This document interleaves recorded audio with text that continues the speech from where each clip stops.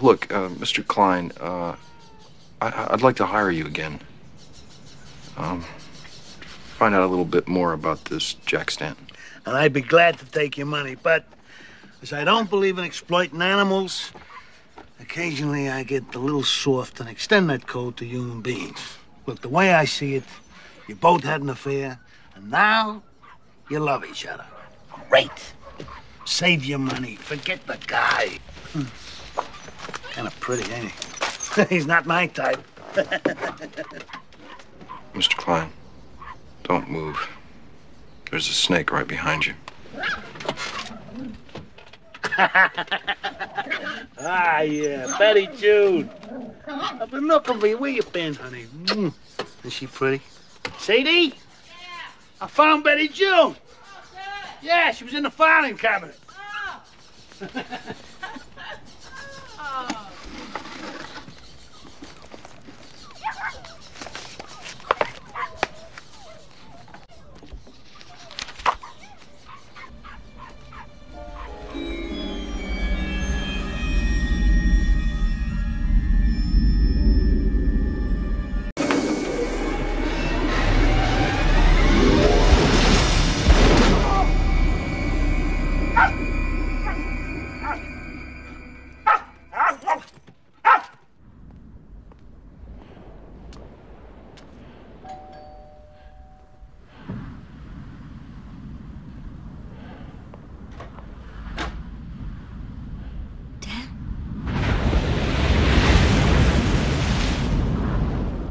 should continue the sessions with the shrink.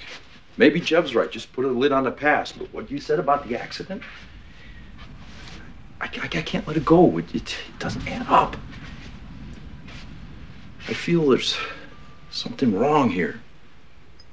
Trust your feelings. What? Do you love Judith? I,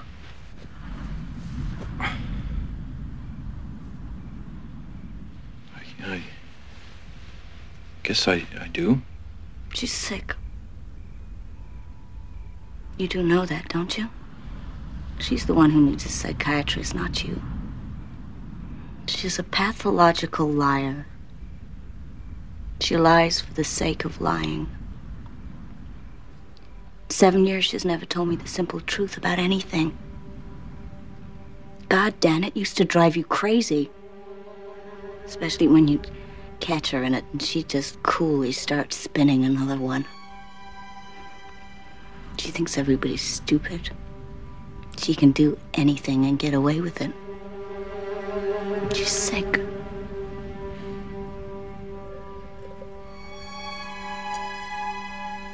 What happened in Mexico with Stanton? She's like a drug addict.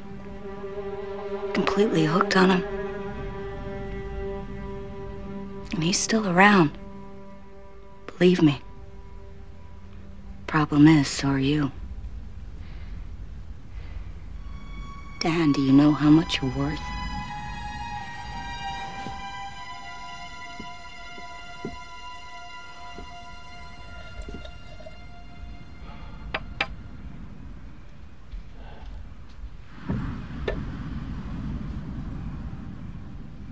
Can't really see how beautiful it is with lights on.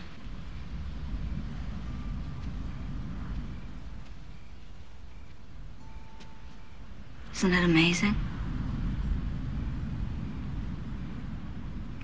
If only life could be that perfect. That still.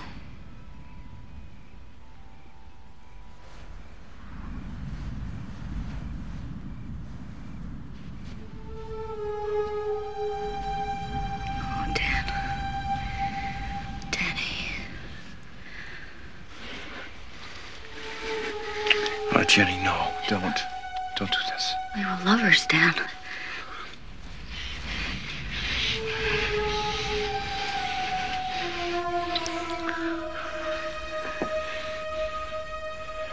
Hacienda?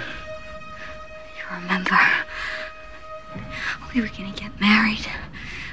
We were just waiting for the right time. Oh. Jeb's not back till tomorrow. Make love to me now.